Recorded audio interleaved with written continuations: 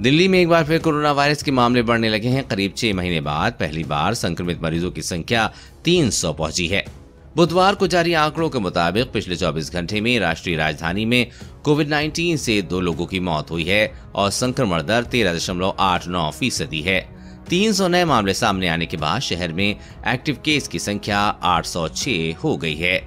स्वास्थ्य विभाग द्वारा इस दौरान 2160 टेस्ट किए गए थे। दिल्ली में कोरोना संक्रमण में बढ़ोतरी की तुलना पिछली लहर से नहीं कर सकते। ये वेरिएंट सीरियस नहीं है। दिल्ली के स्वास्थ्य मंत्री सौरभ भारद्वाज ने कहा कि केंद्र की एडवाइजरी में छह राज्यों का ज़िक्र है, लेकिन दिल्ली नहीं है। क्योंकि जब जब कोरोना के ट्रेंड आते हैं, दिल्ली में भी मामले बढ़ते हैं। अस्पतालों और हेल्थ सेंटर में एडवाइजरी भेजी जा चुकी है।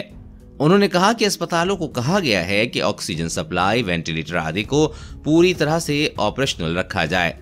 हमने मॉक ड्रिल भी कराई थी। सभी जगह नोडल अधिकारी तैनात कर दिए गए हैं, लेकिन कोरोना का ये वेरिएंट सीरियस नहीं है। दिल्ली सरकार की नज़र बनी हुई है। अभी करीब डेढ़ दो हज़ार ही टेस्ट हो रहे हैं। इसलिए इसकी तुलना और अभी की पॉजिटिविटी की तुलना पिछले वेव की स्थिति से न की जाए, क्योंकि तब हम हर दिन एक डेढ़ लाख टेस्ट कराते थे। कोरोना वायरस और कोरोना वैक्सीन से जुड़ी हर अपडेट पाने के लिए चैनल को सब्सक्राइब करें।